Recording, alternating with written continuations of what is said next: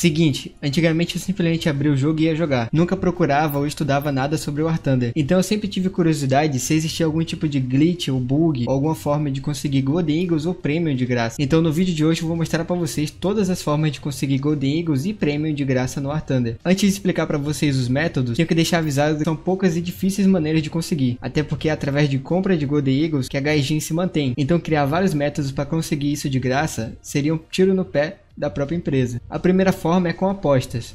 Quando você faz login, você ganha uma bonificação.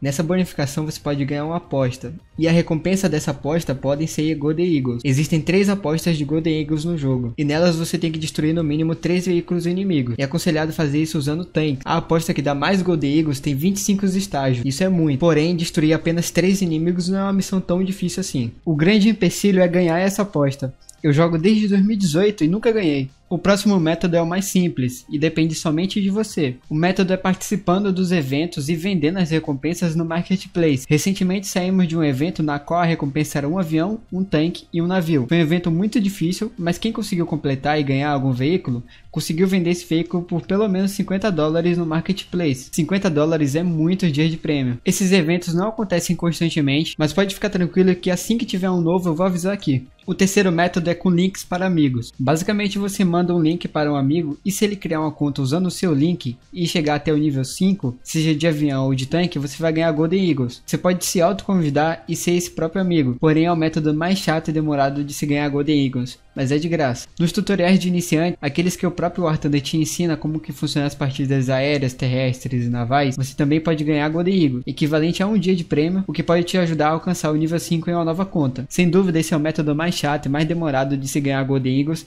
e eu acho que também não vale a pena, mas é um método de graça. Tem alguns métodos bem underground, que não vou me aprofundar muito porque creio que envolvam muita sorte e não sejam acessíveis para todo mundo, mas eu vou dar uma breve listada aqui. O primeiro é que o War Thunder tem skins, assim como o CSGO, né? E tem skins para tank desenvolvidas pela Gaijin e pelos próprios jogadores. Assim como o CSGO, você pode criar sua própria skin e se elas forem aprovadas, você pode ganhar Golden Eagles com relação às vendas dela. O outro é que no canal oficial do War Thunder existe um quadro chamado Thunder Show, que acontece semanalmente. São clipes enviados por jogadores e se seu clipe for selecionado, você pode ganhar 5 mil Golden Eagles. Para promover esse vídeo, a Gaijin também dá mil Golden Eagles para o melhor comentário desses vídeos. O próximo método é que existe uma wiki do War Thunder, assim como a Wikipedia que já conhecemos, e os contribuintes dessa Wikipedia ganham mensalmente de 500 a 800 Golden Eagles. E se você for um criador de conteúdo e se seu conteúdo for aprovado pela Gaijin, você pode se tornar um parceiro e ganhar 30 dias de prêmio e 10 mil Golden Eagles. E é o que eu estou tentando ser. Mas no meu caso também tem a questão de tentar ajudar a comunidade que já é pequena. Esses foram todos os métodos até o momento.